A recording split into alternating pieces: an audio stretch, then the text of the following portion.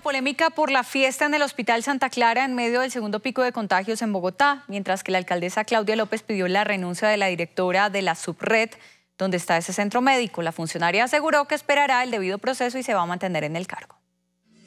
Luego de dos meses que saliera a la luz pública este video y la solicitud de la alcaldesa Claudia López para que la gerente de la subred hospitalaria Centro Oriente presentara su carta de renuncia, la funcionaria salió al paso en un comunicado de dos párrafos donde asegura que una vez conoció estos hechos los puso en conocimiento de las autoridades competentes y abrió una investigación disciplinaria interna en contra de los funcionarios que aparecen en la grabación. Teniendo en cuenta lo anterior, me acojo al debido proceso al cual tengo derecho como funcionaria pública y ciudadana. A la espera de los resultados que arrojen los entes de control estoy dispuesta a responder de manera clara y oportuna. Ante esta negativa, el concejal Luis Carlos Leal del partido Alianza Verde interpuso una denuncia ante la Procuraduría General de la Nación contra la gerente implicada en este escándalo. Pues nos hemos visto obligados el día de hoy a presentar ante la Procuraduría General de la Nación una denuncia pidiendo la inhabilidad y la destitución del actual gerente, la doctora Claudia Ardila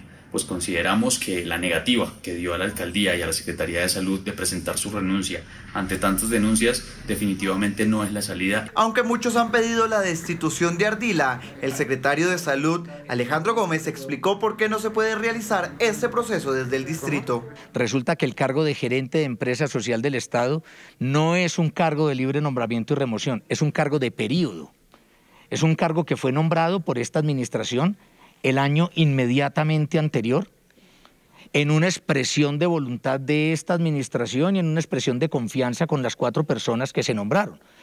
pero es un cargo de periodo y puede durar hasta cuatro años. Durante esta semana se ha dado a conocer además un video revelado recientemente por el concejal Andrés Forero, donde se escucha a la funcionaria pedir que no saliera a la luz pública la fiesta dentro de las instalaciones del centro médico. Asimismo, varios médicos y trabajadores del hospital han denunciado acoso por parte de la funcionaria por este escándalo.